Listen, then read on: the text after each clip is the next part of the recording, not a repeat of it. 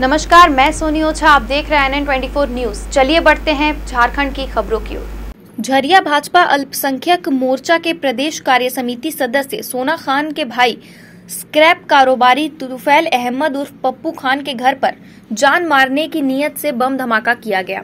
परिवार के लोग बाल बाल बच गए। घटना की खबर पाकर पुलिस पहुँची और एक ज़िंदा बम बरामद किया। घटना करीब साढ़े तीन बजे की है।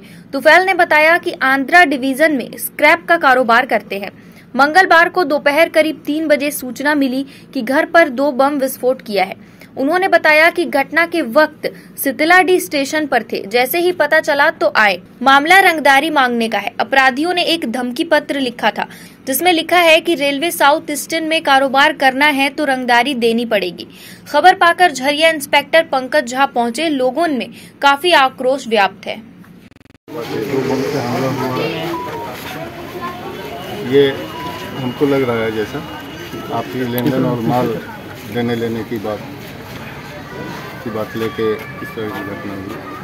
आगे हम देखते हैं अनुसंधान करते हैं। सर लगातार जो है रेलवे के कॉन्ट्रैक्टरों को जो है निशाना बनाया जा रहा है सर। इससे पहले आज वापसी प्रतिद्वंदिता के कारण हमको लग रहा है कि हो रहा है। उसके कुछ अभी पकड़ाए हैं संभवतः उसमें शामिल हो उसके बाद आज सर देखते हैं। लेन देन की बात ही है हम्म।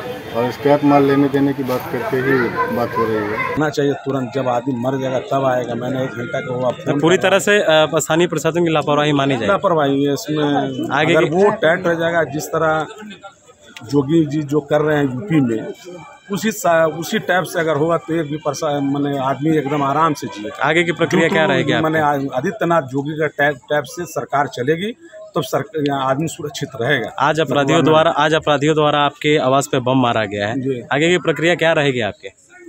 क्या अब सरकार देखते हैं बोले हैं, प्रशासन को आगाह किए हैं, इसके बारे में प्रशासन हम लोग को क्या करें? सरकार हमें सुरक्षा देगी, कैसे व्यापार हम लोग करें, क्या करें, इसके लिए क्या सरकार भी हम लोग